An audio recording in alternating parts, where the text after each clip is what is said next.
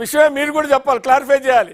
ప్రధాన శత్రువు coalition government కేంద్రంలో మంత్రులు అవుతాం చక్రం తిప్పుతాం. ఎవరితో? మీతోనేనా? మీట్లో ఉన్నట్టుంది.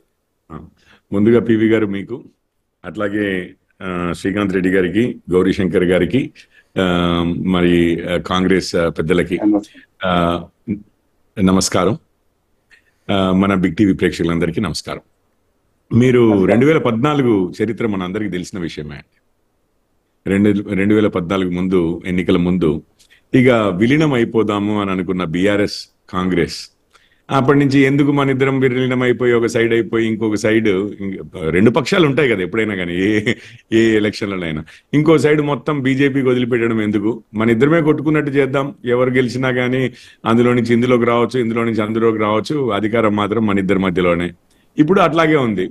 వారిద్దరే ప్రధాన ప్రతిపక్షాలు ఒకరికొకరే పోటీ అన్న టైప్లో మళ్ళీ ఇక బీజేపీని ఎక్కడైనా లోనికి వారు వస్తే డేంజర్. మన ఇద్దరికి కష్టం అవుతుంది ఎందుకు ఇక్కడ- ఒక చిన్న. ప్రశ్న నాది. ఎందుకంటే ఖమ్మం మా లోకల్ కాబట్టి అడుగుతున్నా. అంటే. బలహీనమైన అభ్యర్థులు నిలబెట్టారని కాంగ్రెస్ ప్రచారం చేస్తుంది. అది వేరే సంగతి. బీఆర్ఎస్ నాలుగైదు చోట్ల కాంగ్రెస్ బలహీనమైన అభ్యర్థి నిలబెట్టింది అనేటువంటిది ప్రచారం చేస్తున్నారు. సరే దాన్ని జోలికి పోకుండా ఖమ్మం లోక్సభ వరకు తీసుకొని మాట్లాడతా నేను.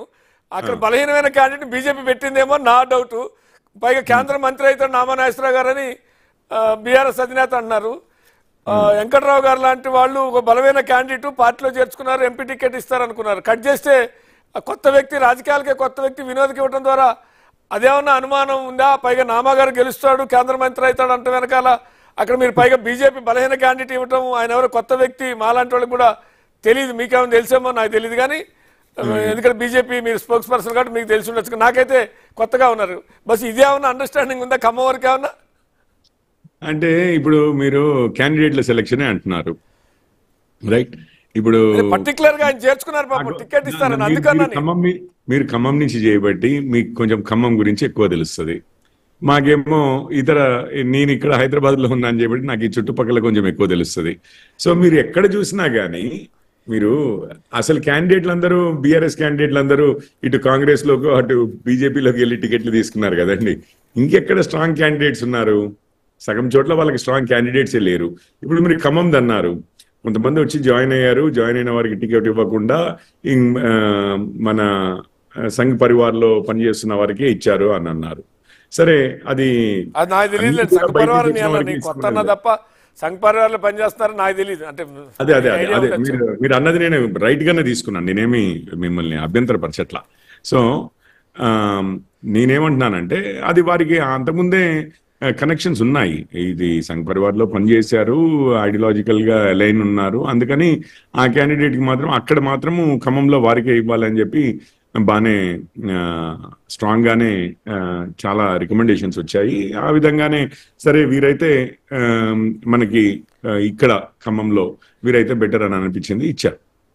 సో ఇప్పుడు అదేదో ఖమ్మంలో మీకు తెలుసు మాకు ఎన్ని ఓట్లు వచ్చాయండి ఈ ఖమ్మంలో.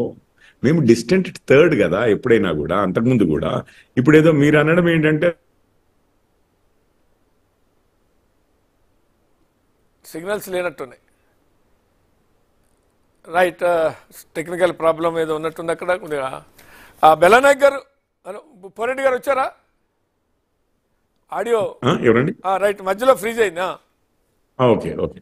సో నేను అనేది ఏంటంటే క్యాండిడేట్ సెలెక్షన్ పార్టీ మీకు తెలిసిందే ఇక్కడ అక్కడ ఢిల్లీలో కూడా పార్టీ మొత్తం వేరియస్ పారామీటర్స్ సర్వేస్ క్యాండిడేట్ యొక్క స్ట్రెంగ్త్ మా స్ట్రాటజీ ఒక దగ్గర ఒక క్యాండిడేట్ ఇస్తే ఇంకా రాష్ట్రం మొత్తంలో ఏం ఎఫెక్ట్ ఉంటుంది? ఇట్లాంటి వాటి అన్నింటినీ కూడా క్యాడర్లో ఏం ఎఫెక్ట్ ఉంటుంది? ఇట్లాంటివి అన్నింటినీ కూడా చూసి చేస్తుంది. కానీ నేను ఈ రోజు అనడం ఏంటంటే బీఆర్ఎస్ వారు వీక్ క్యాండిడేట్స్ని పెట్టారు అంటే వారి దగ్గర ఉన్న క్యాండిడేట్స్ అందరూ ఇటు బీజేపీకో అటు కాంగ్రెస్ కో వెళ్ళిపోయారు కదా. కొంతమంది టికెట్లు తీసుకున్న తర్వాత కూడా